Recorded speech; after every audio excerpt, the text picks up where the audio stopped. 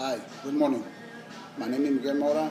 So today I show you how service and open a wine bottle. So you need a cork feed,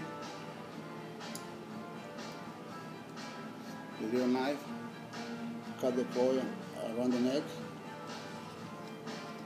like that, and remove the foil. You put the, the screw in the middle of the cork, slowly.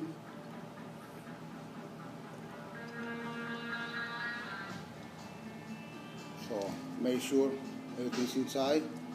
So you put the lid the, the bottom, one and two. Easy. Remove the cork. So when you serve the wine for the, the guests, so you put the glass, show the brand for the guests, it's the brand he asked, so put little bit. So you give it to the guest, and the guest taste, he feel like it's okay, all right? So you serve it. All right? So never fill it up all the glass.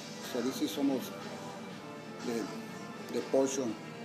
So for one bottle is four glasses per bottle. So maybe it's, it's the same level. So when you have time with the guests, so you talk to with him, blah, blah, blah, blah. But when you're working in the busy, busy bar, so you don't have too much time, you have a lot of drink. So if you wanna, or you need service, I don't know, three glasses,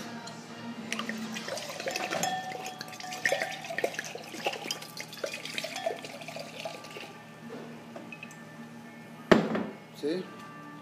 So almost is the same level.